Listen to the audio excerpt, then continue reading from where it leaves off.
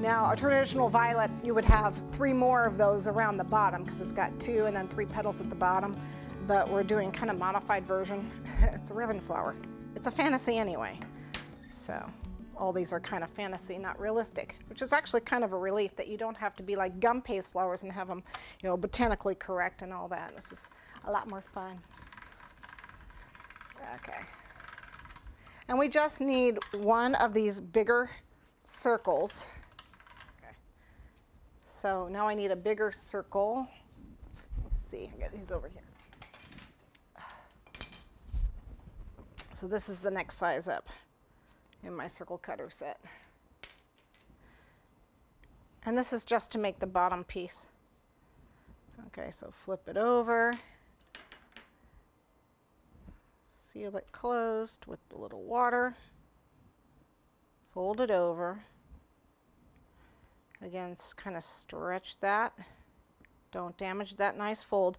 And this one you're going to kind of pleat three times. So you got one tuck, another tuck, and another tuck. And then bring those ends in. It looks almost the same.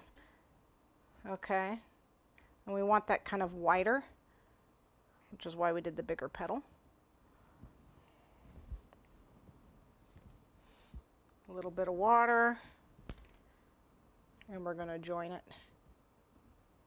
here to make a violet. Okay, and then I'm going to add two yellow, little yellow fondant dots to that. Okay. But I did them little itty bitty, so I did them using these two cutters originally. And I'll show you what they look like. Again, I gotta hide them in here because they fade. But see, they're little itty bitty guys. Aren't they cute? so you see the big one and there's the little one. And just add two ye yellow dots to it.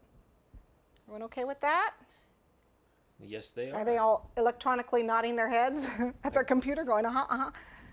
Sounds like they are. okay. So again, when I normally do that, I use this as a three quarters, and this is a, you can do any size you want and one and a quarter. Well, that's what I normally use for those. But you can use any size. Again, these are not, you know, something that have to be, they have to be. okay, so we're gonna do another flower here. This fantasy flower is kind of like, um, kind of like a lily, but not really. And it's going to use the square cutters. And again, you don't have to have these. You can actually just measure it out, but I don't want to do that. I'm going to use the bigger one. This is a, what is this? This is a, a two, two inch square, a little, about two and an eighth inch. And I'm going to need six of these, okay? But I'm just going to do, I actually have it already done up part way. So I'm just going to do a couple of them for you here It's a little dry. Okay, so I cut them out and we're gonna fold them in half. Don't forget to flip them over until we get to the, the wrong side is facing you and fold them in half. Again, don't injure that folded edge. We want to thin it out. Okay. And then you're going to fold it in half again. So you get a nice folded edge here, okay? So I'm just running my hand along there to get it nice and thin.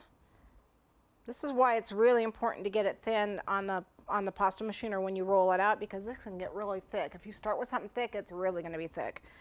Okay, so at this point I've got two triangles and I'm just going to take that tuck in the middle like so and then bring these two tails together down here. And what it does is, is kind of point at the back and I want to push that in. Okay, so I push that at the base and then I'm just going to pull it out here with my fingers just kind of. So it makes kind of a tear, teardrop, a, a teardrop, you know, leaf, leaf shape with a tail. Now where I've squished it. Okay, so we're going to do that again so you can see it. All right, so one tuck here in the middle.